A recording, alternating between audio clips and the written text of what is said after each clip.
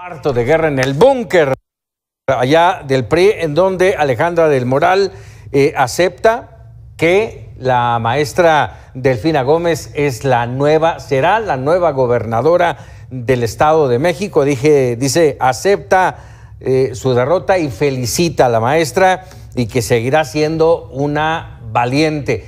Y Alfonso, ¿cómo, cómo escuchar este mensaje ya de entrada? Justo lo comenté con la candidata antes de que recibiera a los militantes y a toda la gente que le ayudó. La verdad es que yo la felicité porque sin duda fue la mejor candidata en esta contienda. Luchó contra la intervención de un gobierno federal que se metió con todo y obviamente ella encabezó un movimiento genuino, prácticamente con el apoyo ciudadano, que fue contra la expectativa de que aquí nos iban a aplastar. Una diferencia de un dígito, sin duda, nuestra candidata reconoce el triunfo de Morena, pero bajo ninguna circunstancia esto significa que su gran esfuerzo de haber reducido una gran diferencia de dos dígitos a esta diferencia que no será mayor a un solo dígito.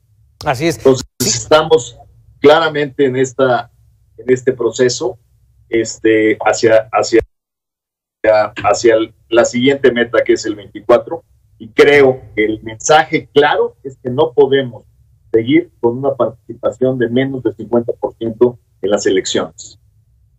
Sí, Alfonso, si me permites incorporar a esta mesa de debate a la diputada eh, federal por Morena, Brenda Espinosa. Brenda, muy buenas noches. Hola, ¿qué tal? Muy buenas noches. También saludo con mucho gusto a Alfonso. Y gusto saludarte, compañero diputado. Y pues también Hola, Brenda. Pues Hola, Brenda. Cuando me invitaron me dijeron, me dijeron que eras tú. Le digo que a ti te quiero y te respeto porque en la mesa directiva ha sido, porque en la mesa directiva ha sido una buena compañera.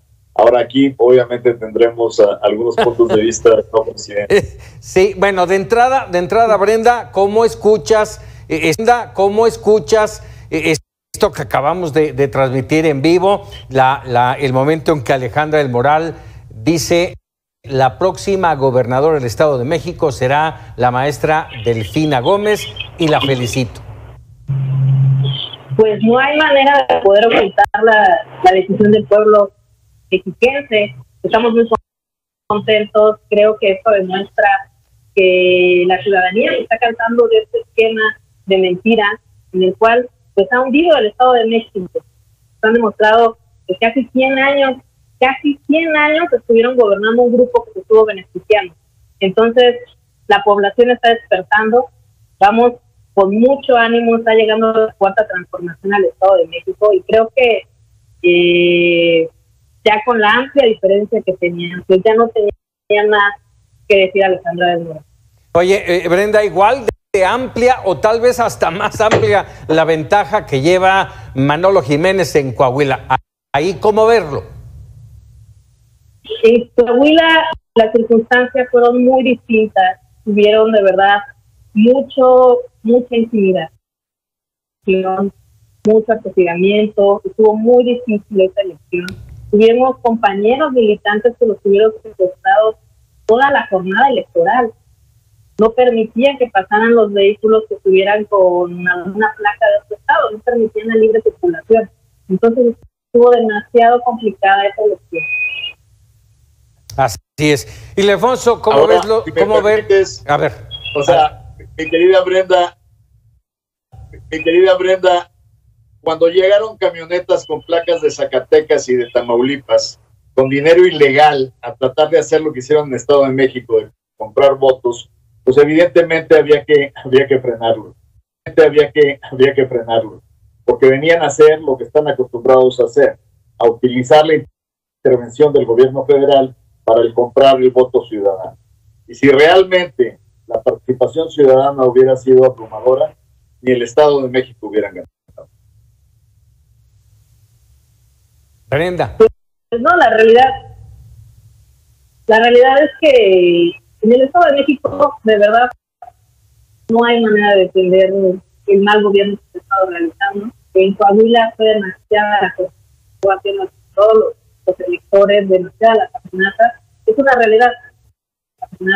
Es una realidad.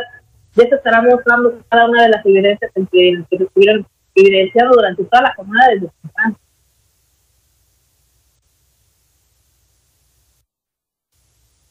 Paco, estoy teniendo dificultades en escuchar eh, a, mi, a mi amiga, este, Brenda. No sé si tiene que ver con la transmisión que usted está, tiene que ver con la transmisión que usted está haciendo. Y eh, eh, tal vez es la, la conjunción de la, conjunción de las dos señales vía, si no malentiendo, es vía Skype. bueno, pero si me lo permiten, eh, eh aquí el punto es, eh, aquí el punto es, eh, y lo hacíamos hace un momento antes, antes de que entrara Brenda, preguntaba yo, con esto, ¿cómo queda el camino al 20? ¿Cómo queda el camino al 24? Empiezo contigo, Ildefonso.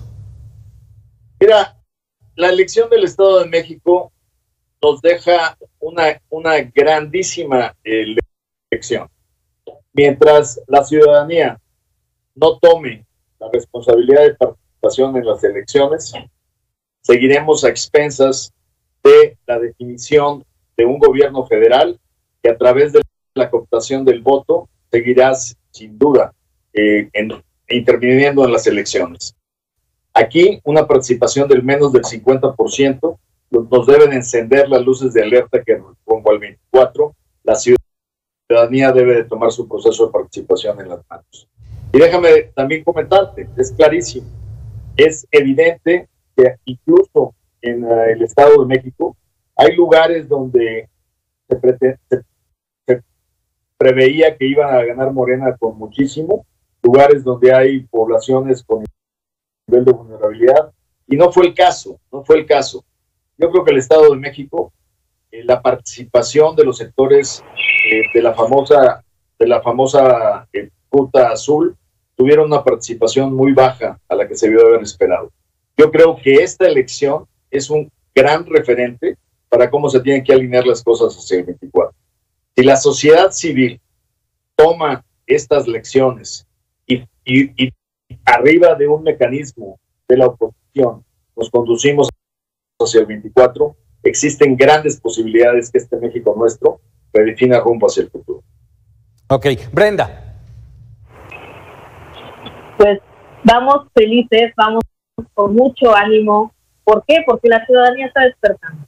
A pesar de que hubo mucha compra de votos en el Estado de México, la ciudadanía supo responder y tomó una decisión en el momento de votar.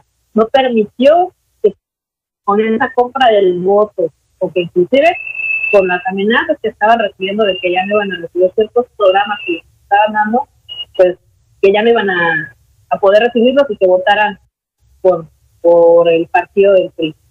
No sucedió, la ciudadanía realmente está teniendo mayor conciencia, está mayor informada, está tomando pues, la mejor decisión y vamos más fuertes y con más ánimo para el 24. Realmente creo que vamos más fortalecidos, vamos con mayores condiciones vamos con mayores retos, pero por supuesto sabemos, sabemos que la ciudadanía nos acompaña y que tenemos este respaldo.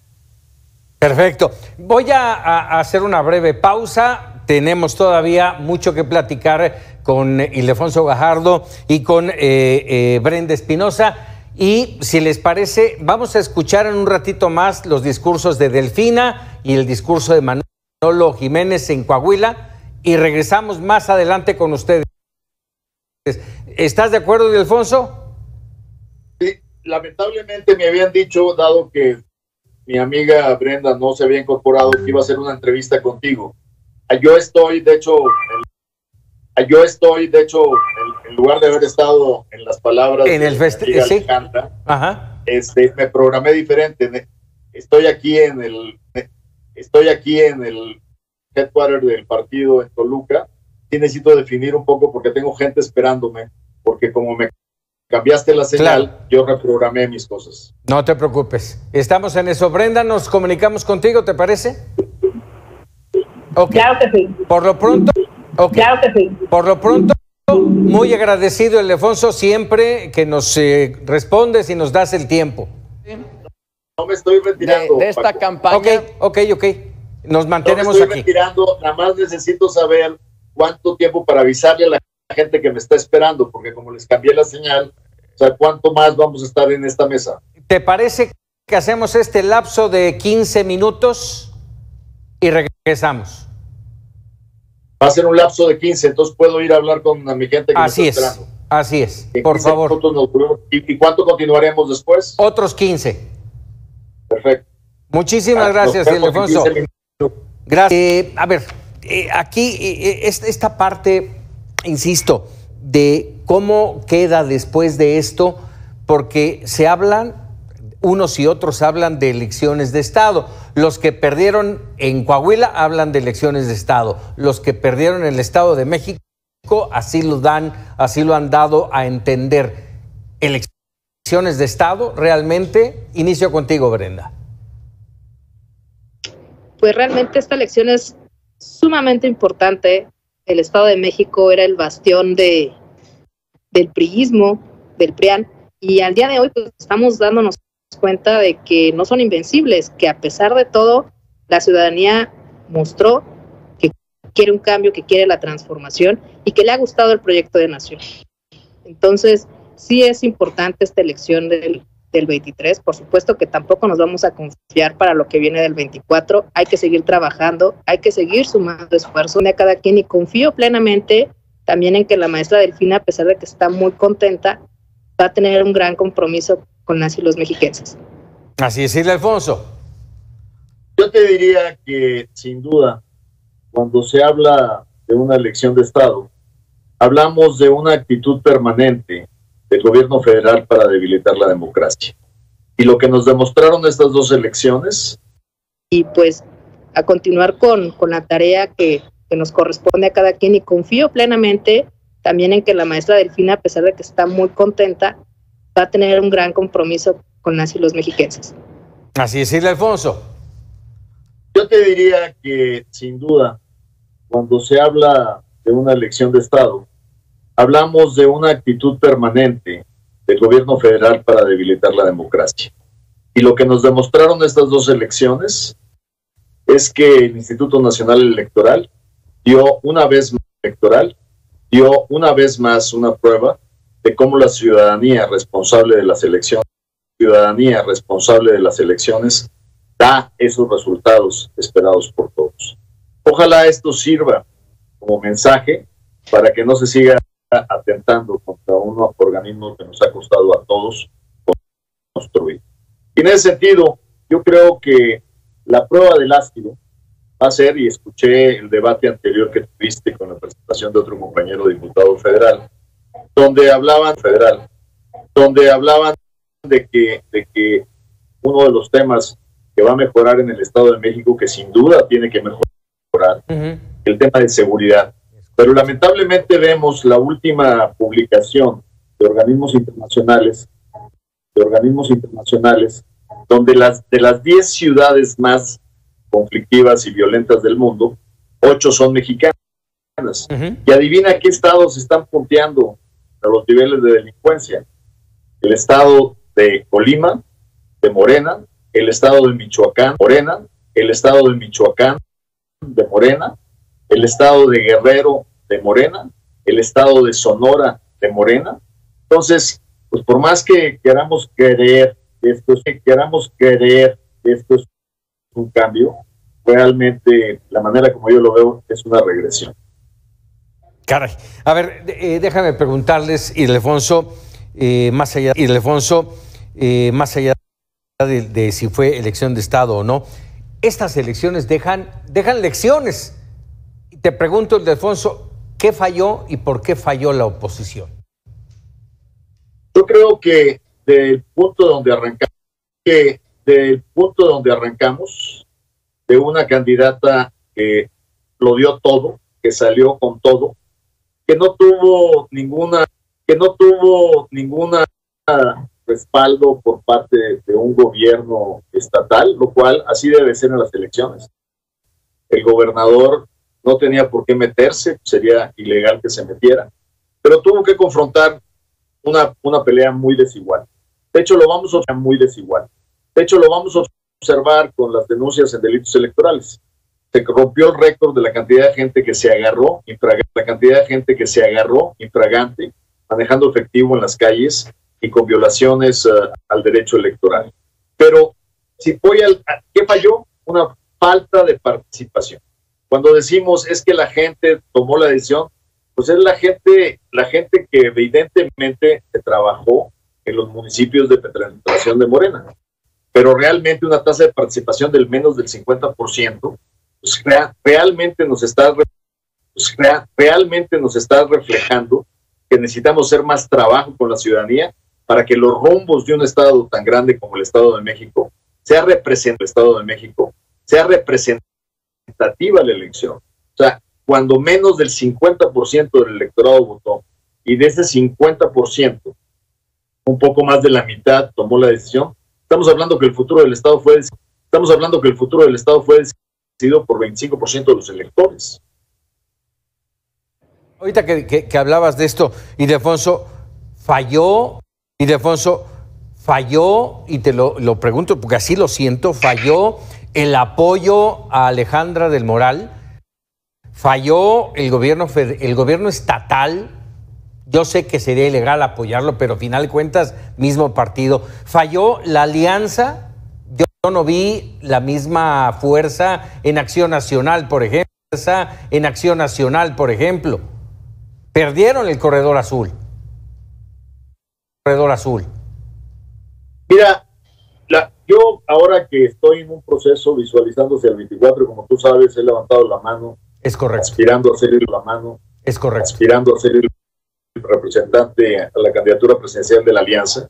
Lo que yo observo es cuando los movimientos reales son acogidos por la sociedad civil bajo un programa de un gobierno de coalición bien establecido, de un gobierno de coalición bien establecido, los partidos políticos hacen su trabajo, pero es el entusiasmo ciudadano y de una sociedad que quiere controlar y dirigir el rumbo del país es lo que hace la diferencia. Por eso, frente a una semana que seguramente empezarán a tomarse las decisiones para definir el proceso para seleccionar el candidato de la oposición, va a ser fundamental hablar sobre el proyecto de nación, sobre el programa de nación, para realmente mandar un mensaje a la ciudadanía que eso no es, estas no son, son, no son alianzas electoreras, son alianzas para mejorar el rumbo y el futuro del país.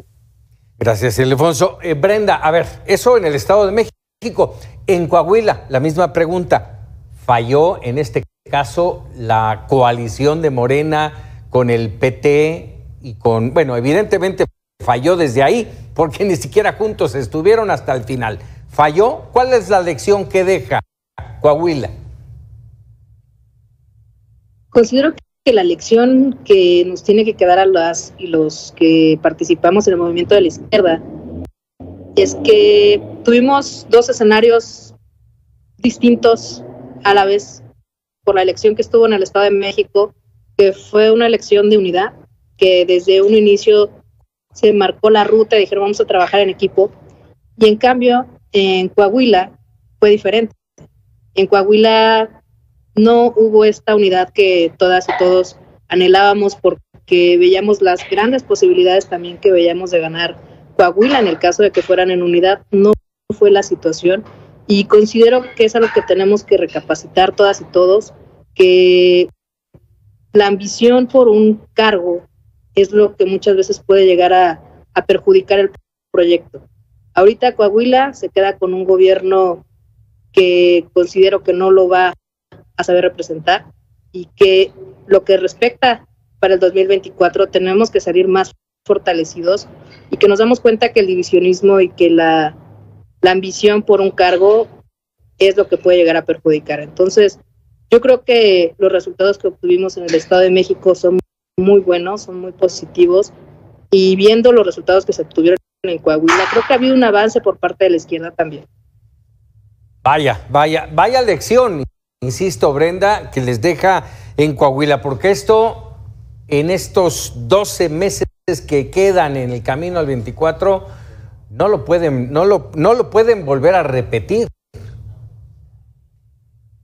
Es correcto, es correcto, es algo que tenemos que tener muy, muy claro. que no se puede volver a repetir como bien lo dices. Tuvimos este claro ejemplo, esta gran lección, en un mismo momento, que tal vez todos hubiéramos deseado que también se ganara Coahuila y veíamos grandes posibilidades, pero tuvo que suceder. Y yo creo que de esta manera también salimos ganando. Muy bien, rápidamente, eh, hablaba hace un momento el de Alfonso Guajardo del Camino al 24. Eh, ya con, estos resultados, con estas perspectivas, a partir de mañana va a cambiar el panorama. Bien lo mencionaba el Alfonso hace un momento, va a cambiar. A partir de mañana, del primer minuto de mañana, ya estarán todos los ojos, todas las, eh, las miradas, todo el, el, ímpetu hacia eh, las elecciones presidenciales. ¿Cómo abordarlas? ¿Cómo evitar que no canse a los mexicanos el tema político? Y Alfonso. Yo creo que justamente lo que tenemos que tener claro es que la gente no quiere simplemente escuchar de los políticos que la formación de alianzas con propósitos de ganar cargos. Lo que se tiene que poner en la mesa es el diseño del país, el compromiso que hacemos para un futuro no solo basado en un proyecto de criticar lo que se ha hecho mal por parte de un gobierno federal, sino olvidar, independientemente de los errores que ha habido en independientemente de los errores que ha habido en política pública, poder poner en la mesa cuál va a ser el cambio, la estructura del Estado mexicano para garantizar un equilibrio de poderes, un respeto democrático, un respeto democrático, un aplanamiento de piso parejo para que todos los mexicanos sean piso parejo para que todos los mexicanos sean iguales frente a la ley. Y aquí dejando claramente establecido, este país sigue siendo un país de capitalismo de cuates. Si no veamos las cercanías, si no veamos la cercanía de cinco o seis empresarios con condiciones especiales, con licitaciones públicas, con, eh, asignaciones directas de contratos públicos, aquí el pequeño y el mediano empresario se sigue topando con la pared, porque aquí no ha cambiado nada, ni en los últimos 30 años, ni en los últimos 5 años. Los mexicanos independientemente de dónde nazcan, tienen derecho a gozar de las mismas oportunidades. Y si bien estamos todos de acuerdo con los programas de apoyo social, esos programas deben de ayudar a la gente a poder construirse a sí mismos para diseñar un futuro diferente. Este país necesita que lo que a veces se critica en las mañaneras, que es el aspiracionismo, no sea más que la fuerza que nos impulsa a darle a nuestros hijos un mejor futuro del que tuvimos nosotros. Claro, claro. Mismo, a ver, antes de pasar con Venda, si me lo permites, eh, el gran reto para el 24 en el caso de Va por México es MC. Yo creo que MC le quedó clarísimo que la sociedad se les echó encima en esa declaración que hicieron Cheptorisky y el coordinador parlamentario en la Cámara de Diputados, cuando salieron y básicamente se entendió que venían a apoyar el movimiento de Morena. Eso les quedó clarísimo. Y si MC no recapacita, va a quedar perdido en el espectro electoral del 24. No representan, y así que ha quedado claro, un porcentaje significativo para ser una fuerza política nacional. Y realmente piensan contribuir al futuro de este país, deben de redefinir cuál va a ser su postura hacia el 24. Así es, Brenda, tu postura. Así es, Brenda, tu postura al respecto, tanto del tema del camino al, 24 como eh, el tema de MC, que también para Morena es importante. Pues mira, considero que para el 2000... Ya perdimos ahí a Brenda. Perdón, no, ya listo. Este, Perdón. Lo que pasa es que considero que para el 24, ¿qué está observando la ciudadanía? ¿Qué es lo que están viendo, no? Pues dos propuestas.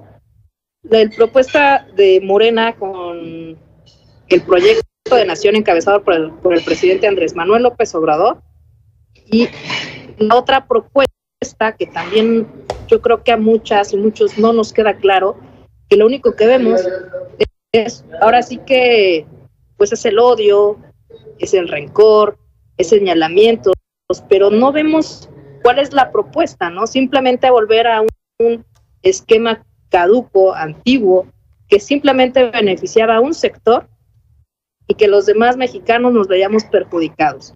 Veíamos la desigualdad, veíamos el apoyo a las empresas, pero no se veía al ciudadano, no se escuchaba al ciudadano que estaba en su casa o al sector salud o a la seguridad.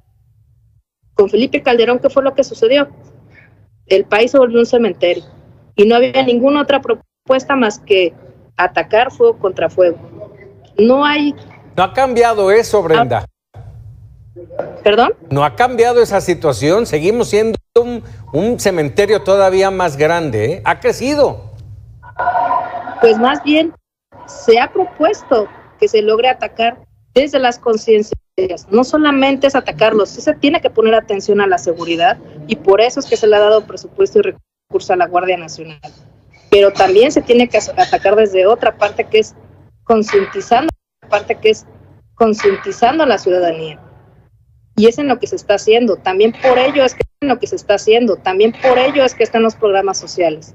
Entonces, es un trabajo, entonces, es un trabajo que realmente se tiene que trabajar pues desde todos los ángulos. Y es lo que está haciendo Morena. En cambio, lo que vemos con la oposición, no se ve ningún tipo de propuesta. Movimiento Ciudadano, pues, ¿qué te podría decir de Movimiento Ciudadano? Tienen mucho mucho que yo los veo que coinciden con la derecha, más sin en cambio también están buscando sus propias conveniencias para el 24. No les convence estar aliados con el PRI, no les convence estar aliados con el PAN. El PRD sabemos que está en un proceso de, de desaparición. Entonces, yo los veo que ellos están viendo por su propia ruta, pero los veo muy alineados hacia la derecha. Correcto. Bueno, no sé si quieras agregar algo, te vi sonriente, y Ilsbonso, no sé. Es que yo, yo aprecio mucho a Brenda y una vez que yo logre mi propósito poner en la mesa mi proyecto de nación, estoy seguro que voy a contar con su apoyo. Ándale. Ahí queda, Brenda. Entonces. Gracias. Te mando un saludo, Brenda. Me respeto y el aprecio siempre. Estamos en proyectos distintos, amigo. Brenda Espinosa, diputada federal por Morena, Alfonso Guajardo, diputado federal por el PRI. Les agradezco a ambos este tiempo y su participación, que siempre es importante e ilustrativa aquí en Voto por México. Muchísimas gracias. Gracias, Paco. Gracias, Brenda. Hasta luego. Hasta luego. Gracias. Bueno, pues ahí